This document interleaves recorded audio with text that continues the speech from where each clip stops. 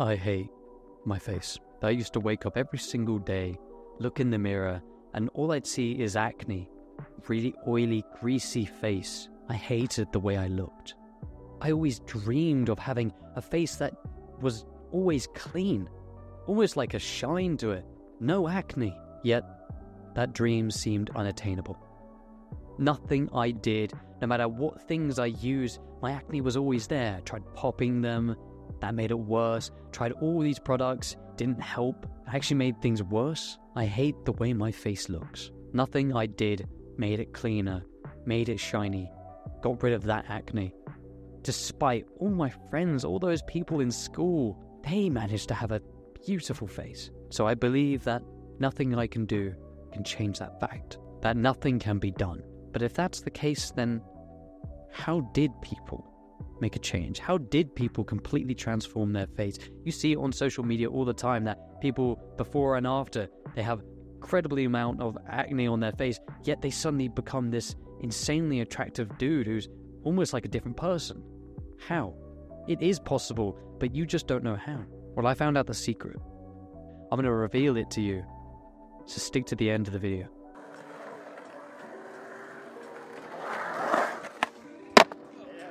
First things first, how are you? I hope things have been good and I hope you've been alright. You see, I went through puberty at a very early age. You know, I'm to tell you my story. I went through it very, very early, like year seven. I shot up. You know, I used to be like this, like small little Asian kid with a perfect face, like super clear, nice, tanned. I then suddenly shot up. I had a bunch of acne. My forehead grew in size, which I don't know how it's possible. I then became from this cute little Asian kid to this clapped, tall Asian motherfucker. I stayed like that for years. I didn't like how I looked. But if you look at me now, no acne. My face is clean. I took care of it, and now I don't have any acne. And it took years and years to figure out what works. And I'm going to save you all that time by telling you a couple things that you can do now that will make a difference. First things first, I didn't realize that there was something known as a skin type. There are three types of skin that you can have on your face oily, dry, or combination. Now, I had no idea that this was a case, that you have to treat your skin depending on what skin type you have. Because if you don't treat it right, then you're actually going to make it worse in the end, which is probably what a lot of you have been doing. That you try all this skin product stuff and it made it worse. It's what I did, and I was like, why is this not helping? Why do I still have acne? Why is this not working? Because I was using the wrong stuff for my face. Now, the way to find out is get a thin piece of tissue or like dabbing paper. Many of us probably don't have that, so like a tiny, like a thin piece of like tissue paper will work. And just dab it on the areas of your face, on the main parts of your face. Now, if the tissue comes out oily, then you have oily skin. If it doesn't, then you have dry skin. Now, combination is a mix of both. So you'll probably find that the T, which is your forehead and like the bits around your nose, your chin, that the middle T bit of your face is probably oily, and then your cheeks, your cheekbone is dry. Now that's combination skin. Now, when you look at products, you have to treat your skin according to your skin type. Take care for your type of skin. And if you read on the back of products, it will tell you what skin type this is most suitable for. So for me, I have combination skin. I have oily combination skin. Now, what I use for that is exfoliating pads. I need to clean my face. My face is more oily than it should be. My pores on my face are, they have a lot more oil, so they need to be cleaned more. If you have dry, have dry skin, very, very dry skin, then you don't have that problem. You need to still clean your face, yeah, but you don't need something that's harsh that will hurt your face because your face is already dry. You don't need to get rid of all that excess oil. You need to actually moisturize your face. So if you've got dry skin, clean your face, you know, clean your face with your that face product, that sort of like face scrubbing face mask or face wash. But then you need to moisturize your face afterwards. More moisturizer that than I would need because I've got oily combination skin. So you would need to find a product that's got more moisturizing capabilities. However, if you've got oily or combination skin, you need something that's going to clean that oil a lot more than someone with dry skin would need. So I use exfoliating pads. If I read on the back here, like it'll literally tell me how to use cleanse the face and neck with the textured pad, blah blah blah blah blah blah.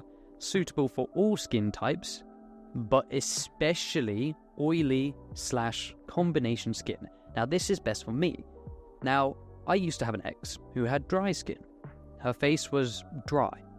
When she used this, it would literally leave her face red. It would be harmful. So you need to look at the product and see which one is best for your skin type. That's the first step. Figure out what skin type you have and take care of your skin due to that skin type. If you've got dry skin, you need more moisturizer, more hydrating products. If you've got oily slash combination skin, you need something that's going to cleanse your face more often and get rid of that excess oil. Now, this is something that both all skin types use, and that is a face wash, a face wash of some kind. Now, what do we use then in that case? Doesn't matter if you've got dry skin or oily skin or combination skin, what you still need to cleanse and wash your face with a type of face wash. And then after, obviously, people with dry skin need to moisturize it, a moisturizer that's more hydrating, and then people with oily skin need something to clean and get rid of that excess oil, and then also moisturize afterwards. But they don't need as heavy as a moisturizer as someone with dry skin. But then the face wash, what do we use? What did I use that helped me clear all my acne? And it doesn't really matter. I use Bulldog, but it doesn't really matter what you use for a face wash. What matters is the ingredients.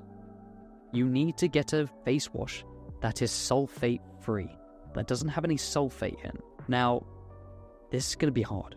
Sulfate is in 90% of all shampoo products or body wash products because it's a very cheap cleaning product. It works and it's cheap. But that's the problem it's cheap. It cleans, but quite harshly. It doesn't leave your face quite healthy afterwards. It leaves it irritated, dry. Same with your hair. It leaves your hair irritated. Sulfate is a cleaning product, yes, but it's a very cheap cleaning product and it's quite harsh on your body. So it doesn't really matter what product you use for your face wash, just make sure that it does not have sulfate in, that it's sulfate free. It'll probably be like iridium, like sulfate something. Now, I use Bulldog, Bulldog face wash that is specifically for oily skin, since that's what I have. Bulldog is a great company. I recommend you go give it a look. It'll have different face wash for different skin types. And if you can, instead of just rubbing your face with the face wash, uh, a silicone scrubber would be best. Silicone doesn't doesn't store a lot of bacteria, and it just kind of cleanses your face a little bit better, and it's not too harsh. You can buy one on Amazon for like five quid or ten quid. Now, the next habit, the next thing I did every single morning that helped my fame, my fame, helped my face become a lot more tighter, a lot more cleaner, almost like a little shine, is ice. I would literally submerge my face into just a box of ice cubes. I did it at work as well. When I used to work in a restaurant, we uh, I was a bartender and we had obviously for drinks giant box of ice. I'd take a bunch of ice, put it in a separate box, and I just plunge my face into it. Now, ice reduces swelling. We all know this but it also means it reduces the blood pressure in your face and can help your face become a lot more tighter, a lot more cleaner, instead of having, you know, kind of big bulgy patches that are quite swelled. Ice is a great, great addition to add into your face, sort of like skincare routine, because it helps your face become a lot smoother. And it also feels really nice. And the last thing, the last habit and it's a very unusual one, one that we all neglect, and that is food. Food plays a role in what you're eating will affect how you look. We all know this, like if you eat too much junk food, you gain too much weight. If you eat a lot more healthier food, you don't gain so much weight. But it also does affect your skin. It's not just your weight, it affects how your face looks. Now, the best thing that I can give you is processed foods cut out as much processed food as possible. So, junk food, anything that's been, you know, processed in a factory that's got a lot of stuff injected, there is so much stuff in processed foods that it does affect how your skin looks. When you cook something, for yourself, just make it a single ingredient meal. So basically, what that means is that when you buy the item, it doesn't have an ingredients list because it's only one ingredient. For example, when you buy potatoes, there isn't an ingredients list on there. Or when you go to the butcher's and buy chicken, there is an ingredients list, it's just chicken. And then you go buy some vegetables, you just buy a carrot from the store, it's not got an ingredients list, it's a carrot. You can probably see where I'm going with this. So buy single ingredient meals and then cook it together, cook it yourself.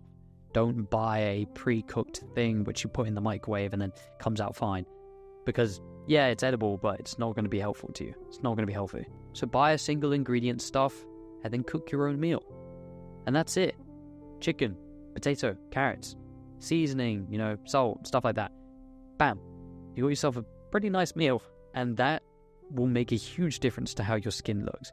You see, we can do all the good habits, you know, find out that what our skin type is, take care of us, our skin type, depending on what we have, having sulfate free face wash so we don't, uh, you know, ruin our face in the long run. Putting ice on our face to reduce swelling to have a tighter, more clean face.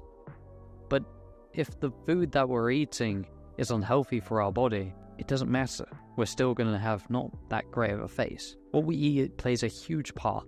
And I'm not telling you to go on a giant diet to only eat fucking lettuce and become, I don't know, a rabbit. Uh, you don't need to do that. You just need to cut out processed foods, or as much as you can, because processed foods is kind of everywhere. It's hard not to. You just need to cut out as much as possible and cook for yourself with single ingredient stuff. That's it. That is enough to make a difference. Trust me, this works. Give it a go for two weeks and you will start seeing a difference. Because that's what I did. This is what I still do now, and it's helped me maintain acne. Look, yeah, it was years ago that I had acne, and it took me years to find out how to get rid of it. But I still get acne every now and then. I've got one, I've got a little spot there. Like, I still get it every now and then. Yet, because I do all of this, my body is able to fight it, and it's able to get over it. Hopefully, this helped you out. There was a lot of information there, so go ahead, save this video, or write down notes so you can, you know, come back to this at any point if there's something that you've forgotten. Because there was quite a lot of information there, so that's understandable. And rewatch this and pause this if you need to. Hopefully, this helped you out, and I, hope things have been good. I, I hope I was managed to help you. managed to. That was grammatically so wrong. I hope I managed to help you out. And I would be really appreciative if you clicked on the video that's going to pop up in the corner here, because this video could help you out. Stay consistent and do the best you can. And subscribe if you want to see more content like this. You know what time it is? Oh yeah, self improvement gifts. Mwah.